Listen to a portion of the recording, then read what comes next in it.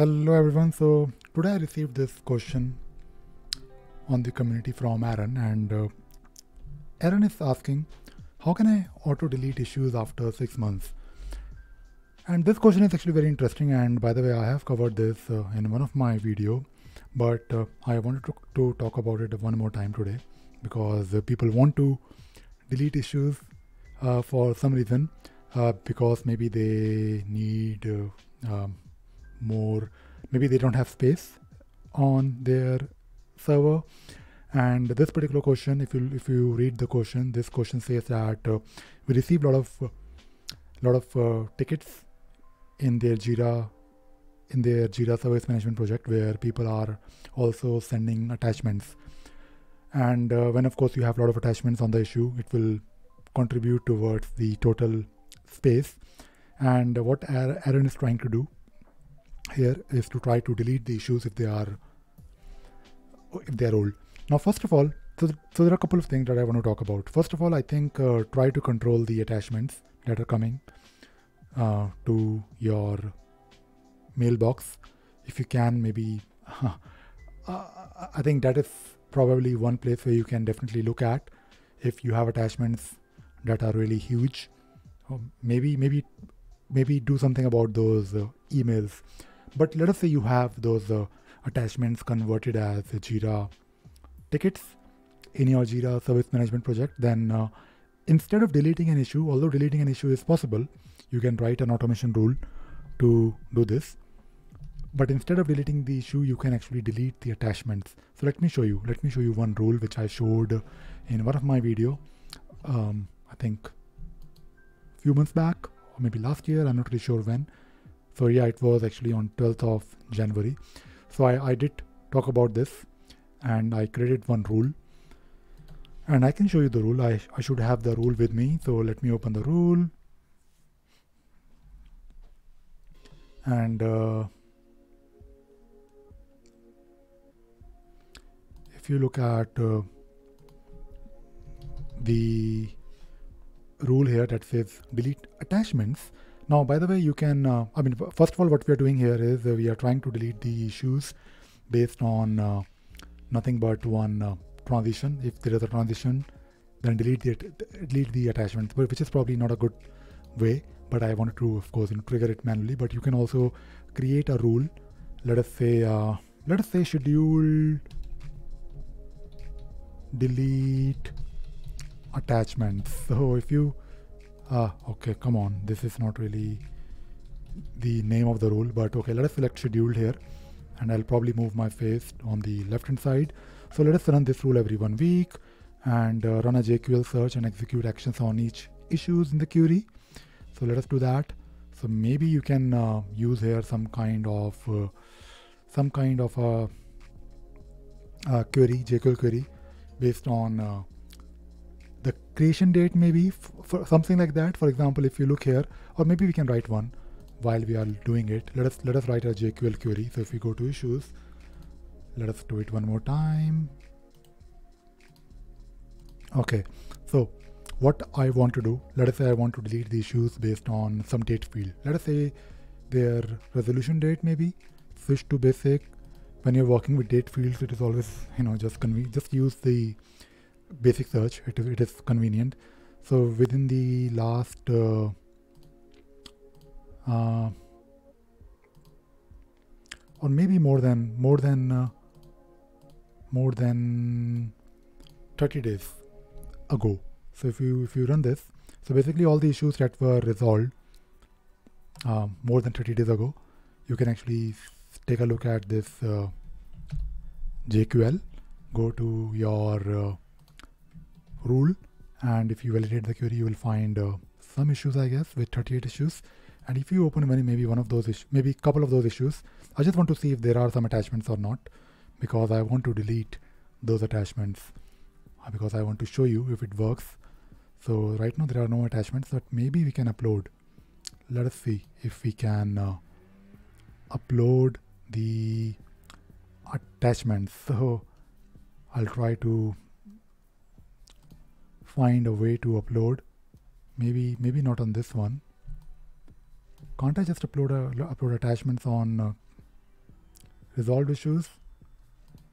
Let me just try to do it on a different one. I may have, by the way, some kind of uh, some kind of a workflow transition property. So let us try to upload any file here. Uh, come on, I'm a bit confused how to do it. So let me just uh, let me just you know change it to in progress and uh, try to find a way to upload a file oh, come on I can see this big huge button called uh, done which is uh, definitely one option. I mean I'm, I'm not familiar with uh, I'm not massively familiar with the cloud interface because I'm more used to uh, working on server but yeah there is a button and I now see it. Okay so let us uh, let us attach a couple of uh, files. And what I will do I will make sure that uh, when I run this maybe I will go back to some of those other issues so maybe this one. Let us upload couple of files here as well. Maybe this one as well.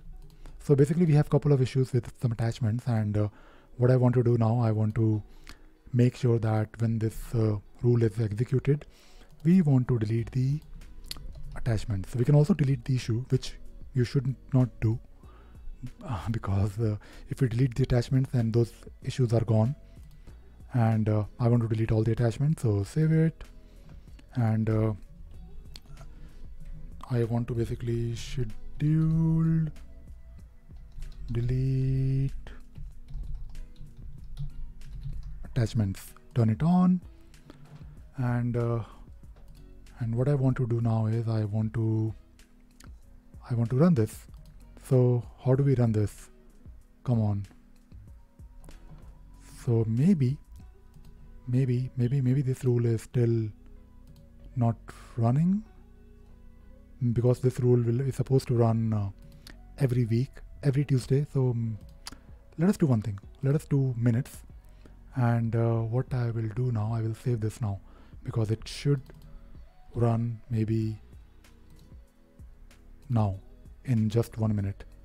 Oh come on okay we have to specify interval which should be more than five minutes okay let us do five minutes and uh, while we wait for the rule to execute maybe I will talk about something because we have to wait for five minutes which is not really a long time but we have to wait so let me open the audit log and uh, keep on refreshing this. So what will happen when this rule will run? It will uh, go through each and every issue that will uh, match this. Uh, I mean, of course, first of all, this rule will run.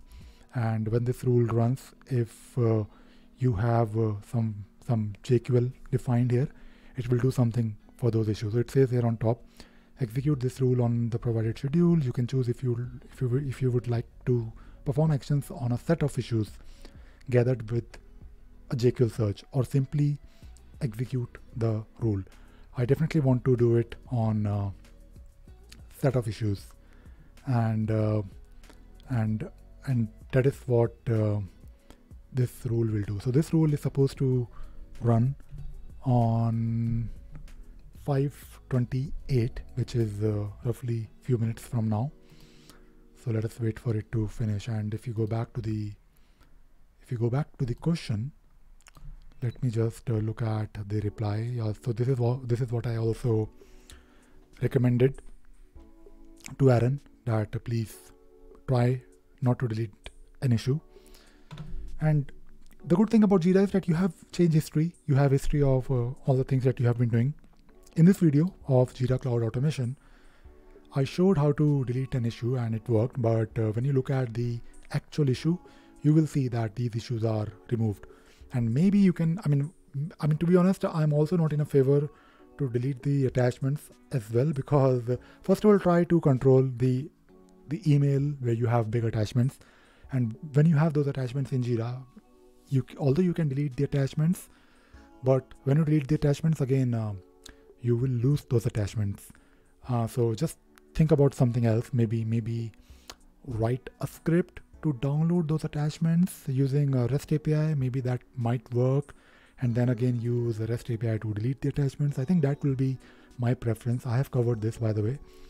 So let us take a look at the video that I made talking about uh, working with attachments using a REST API. So let us do that. Yes, I, I think recently I made this video, delete 700 attachments and uh, you can by the way. So you can get all the issues attachments and you can also upload an attachment. So there are so many things that you can do with REST API and uh, let us go back to the rule and still not still waiting for the rule to run. It says next run 528 and what time is it right now? It is not 528 by the way. Okay I think a couple of minutes from now. So let me just open the rule again.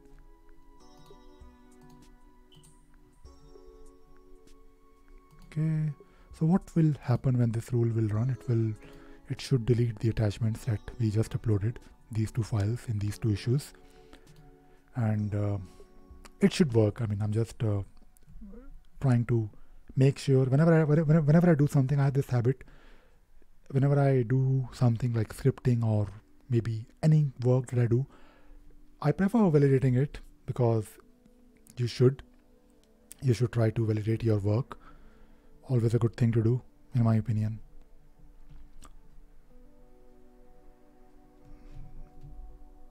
Okay, I guess one more minute before this rule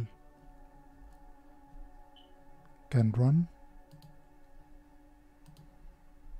And this, is what I do normally. I mean, in the evening, I open Atlassian community and I start looking for questions. I try to spend few minutes every day. I, I mean, I don't really really spend like a lot of time, but you know, a few minutes once in a while uh, during the day if I can, especially during the evening period. I spend like 15 minutes. I open community and look at the questions and try to answer. And when I do that, of course, uh, I get ideas to make more videos for you guys. Still not run.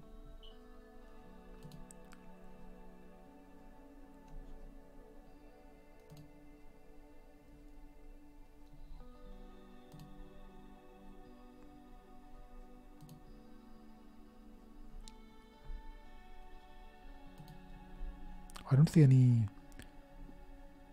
any message here that says uh, that it that, that the rule ran but let me just look at the issue at the issue. Okay the attachments are still there on the ticket but I don't see the rule. Oh come on I think uh, I'm so stupid I I can actually click on the button on top. So let us do that and uh, let us see. Okay, so it says in progress. The interface is now different. I I'm so sorry. I should have clicked on the button on before, but I missed it. I think I'm not really in, in my best mode, but let us wait for it to do something. And uh, it, it is still in progress, by the way and the rule is supposed to delete the attachments. And if you don't have attachments I think it will move on. So I think the rule worked at least on this issue. You can take a look at the history of the issue. And it says it will tell you that you know the screenshot is now deleted. And it was done by automation for Jira. So let us do the same thing for the other issue. And uh, this will be of course the, the issue will be of course without any attachment now. So this is how you will be able to delete your attachments if you need to. And uh, that is it.